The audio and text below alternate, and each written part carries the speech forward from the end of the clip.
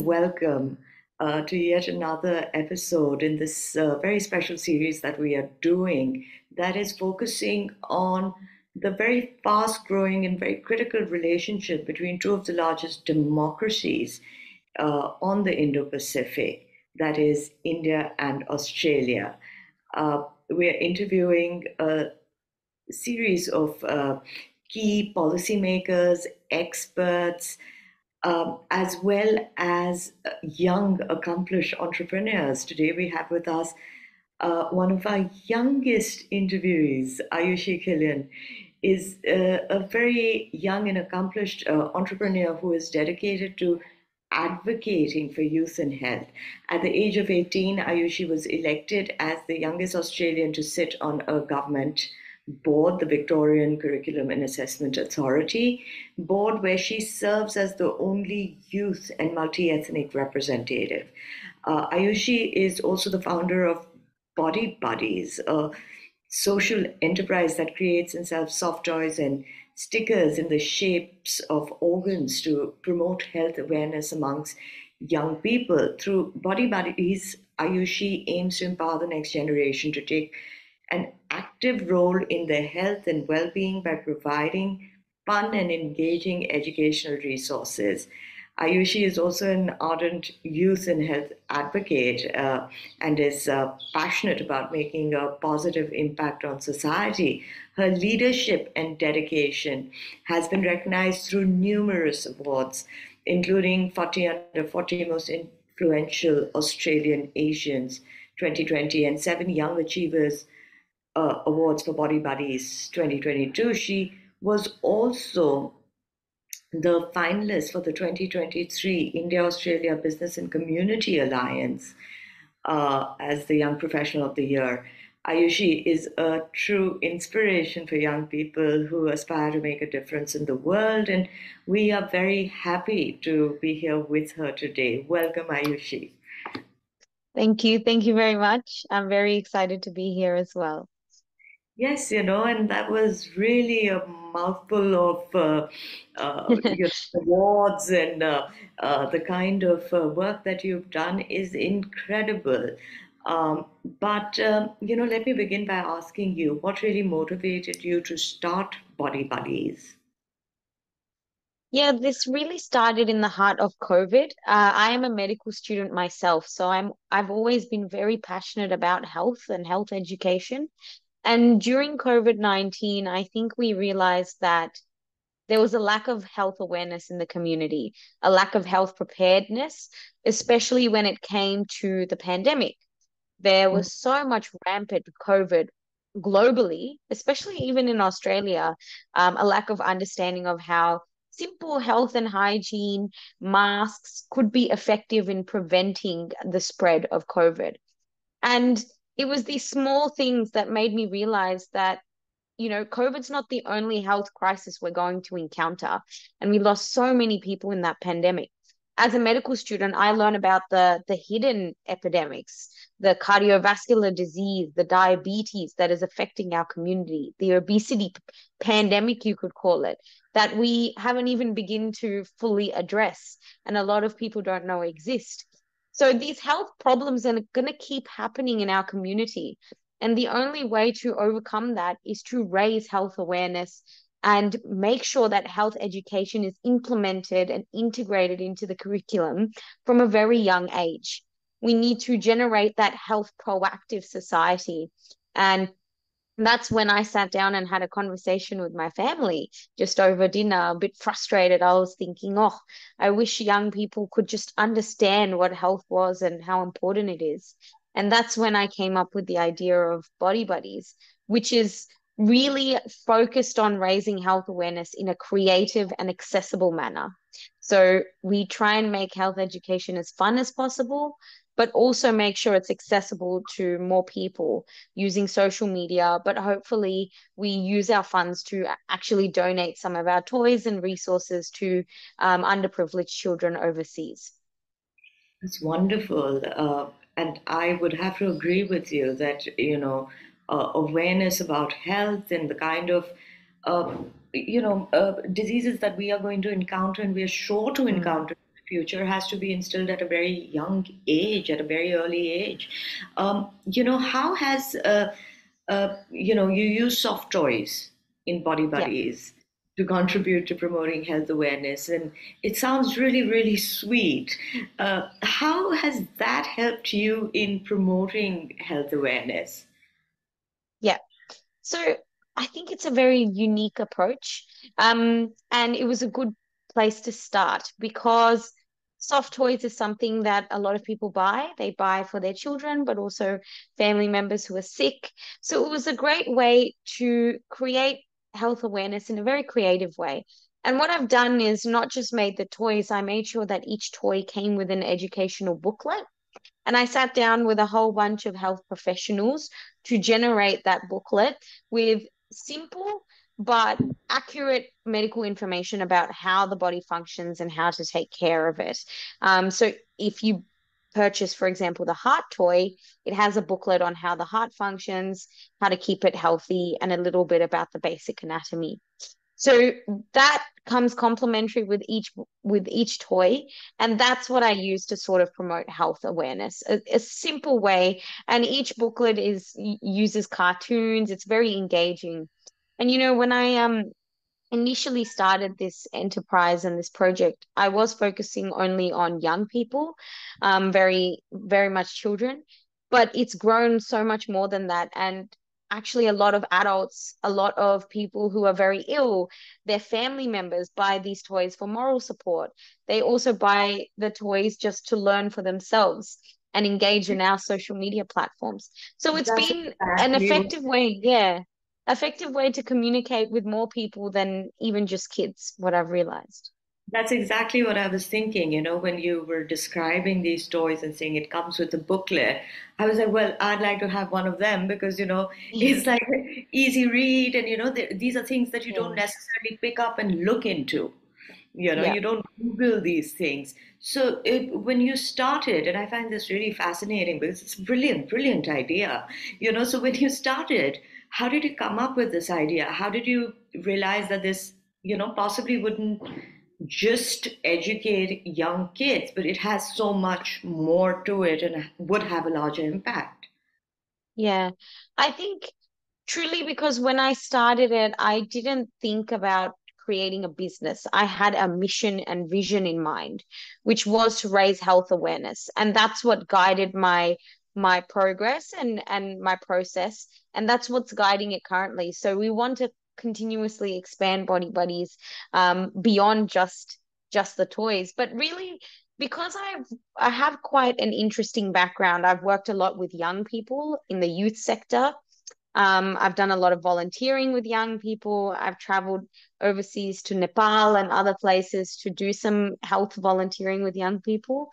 Um, I've also I work in the education sector on the education board, so I'm well aware of the curriculum and how education works and how to teach.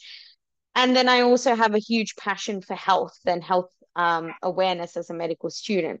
So really, a lot of these in, interests combined together when I came up with Body Buddies an interest in youth, an interest in education, and an interest in health.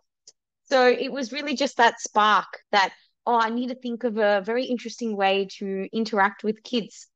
And one other thing was when I traveled to Nepal in 2019, I did a health workshop with young children in um, a rural village there.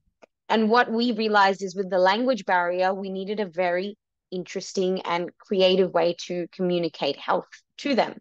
Yeah. So that's when we came up with creating models of teeth um, to teach them how to brush their teeth.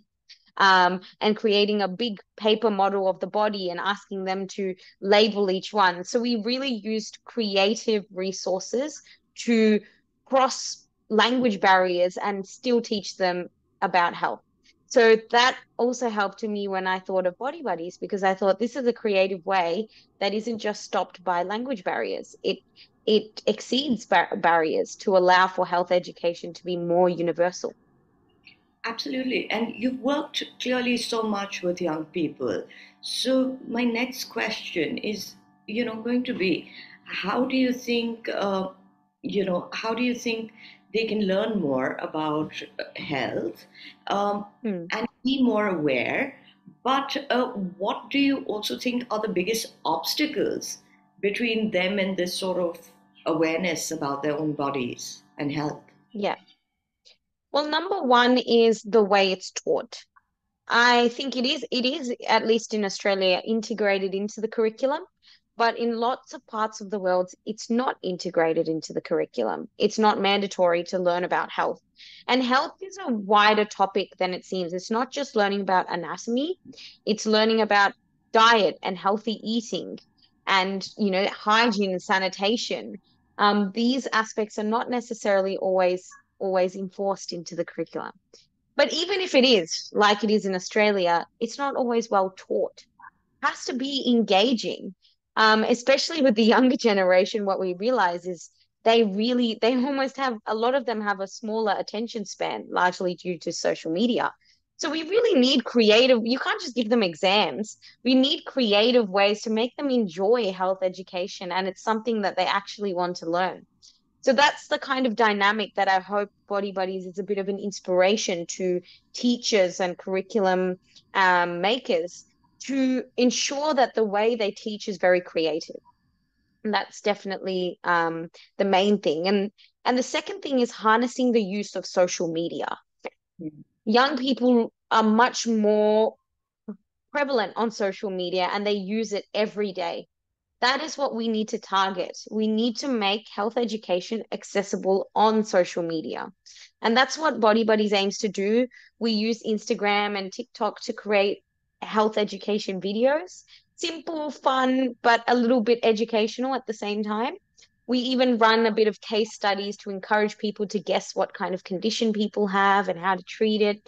So it's it's harnessing social media and making sure we connect with young people in a way that betters them.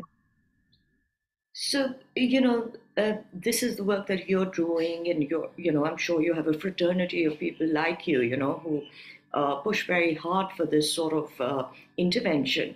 But uh, if I was to ask you, what do you think would be maybe the top ways that young people themselves could become advocates? Mm. I think for young people to become advocates, it is really to get involved in these kinds of programs, um, to first learn about what are the problems in this community and how to cross it. So I when I was young, I really got involved in volunteering programs, working with other young people. Um, and that and getting that mentorship and support allowed me to develop those skills and understanding of what the problems are in the community. So it's really about trying to give opportunities to young people to learn. So one of the things Body Buddies is doing this year is providing a volunteer internship for 10 people to join our team and help with our health awareness campaigns. And and through that, my goal is for them to see and learn about what we're doing so that they then leave and do something themselves to spread that message. So we need more of more chill young people involved in these kind of programs, getting themselves out there, exploring the community so that they can understand their problems. The next thing is obviously we need support from from the government, from organizations. There is a lot of discrimination still against young people being in executive levels, um, having making those decisions. So we still need a societal shift to to emphasize the importance of young people and the changes that they can make and and trust and faith um, in their potential and skills. So it's it's a it's efforts from young people themselves, but also efforts from a societal aspect to change that narrative that we've written so far that young people can't do much. We really need to change that. So basically, what you're saying is that you know governments themselves could provide opportunities for Yes. uh, you know for young people to get far more involved than they are, and that would probably give them the impetus to um, you know really take this work seriously. Um. Aayushi, let me ask you. You know, um, you are of Indian descent. You're in Australia. Uh, you know both these communities really well, and Mm. uh, you know how would you say that? Uh, you know, uh, India and Australia can work together to provide opportunities for youth in the healthcare sector? I think there is a first of all, there's a booming population here of Indians. It's a vastly growing sector of people, um, mainly in the working space. So it's definitely an area where there's a lot of potential for them to do good in the community. It's a growing community, and we need more Indian people encouraged. I think it is really about political connections between India and Australia. I think the Australian Prime Minister was just in India recently for Holi um, and posted about it. So it's small things like that that shows the relationship between India and Australia. And the main thing is encouraging Indian and ethnic and migrant background people to enter into uh, levels of leadership and policy making. That that will really allow for change, diversity, and representation. So, for example, me being on my uh, Victorian curriculum board as the first Indian is a big deal because there are out of 50,000 students every year writing year 12 exams. I'm pretty sure around 20 or 30, almost more than 30% of them will be multicultural backgrounds. And yet there's no representation of that large chunk of students in executive levels of decision making.